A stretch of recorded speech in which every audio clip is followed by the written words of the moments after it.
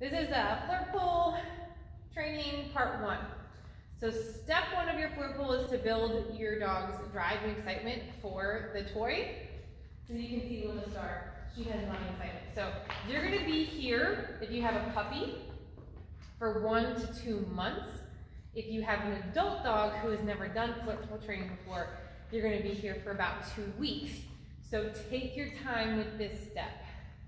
The first phase of building your drive for the flirt pole is really they just enjoy it.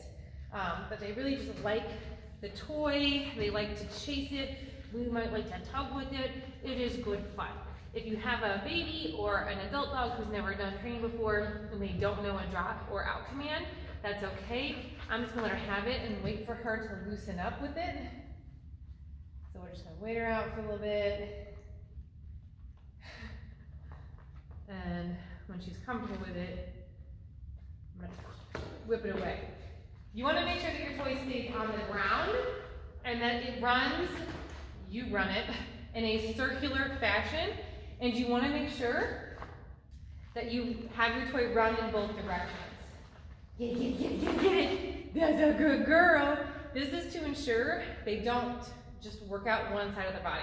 So if you're right-handed, you tend to want to make the toy run to the right. Good job. So make sure that you run the toy on the left side as well. Good girl. Here I also pulse the toy once they have it. This part is important because squirrels, rabbits, birds would all be attempting to escape. A lot of times we ruin our dog's toy drive is because we shove the toy right in their face. We are like, here, here's your toy. And rabbits and squirrels just don't run up and say, here I am. They flee, they run. And that is what keeps them fun. So if the toy stays down on the ground, I run it in a circular fashion in both directions. She chases it, she catches it, and sometimes she parades with it. Do you have it? In here I can parade her. Oh, yes, good fun. Pulsing my toy. Her, the raccoon is trying to escape. Good job. I can turn her around and we can parade in the other direction. Good girl.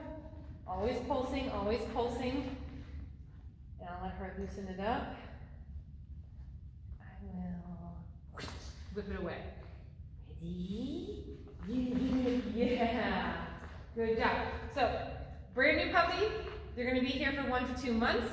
This phase, running it on the ground in both directions, pulsing it, and letting the dog just chase and catch.